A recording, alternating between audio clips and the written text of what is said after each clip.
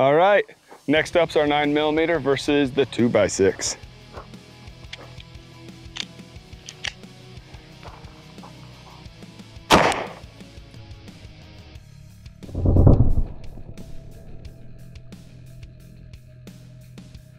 Glanced off the side and it busted. Let's go see if it, still should be able to tell where it stops. Don't think it, oh, it didn't go out, so we're good. It just hit a knot and broke in half. So we should still be good in there. Oh, you smell that wood burning? I smell that pine.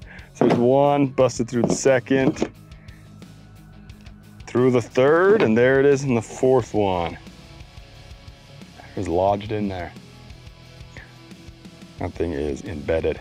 So four, stopping four. So not too bad.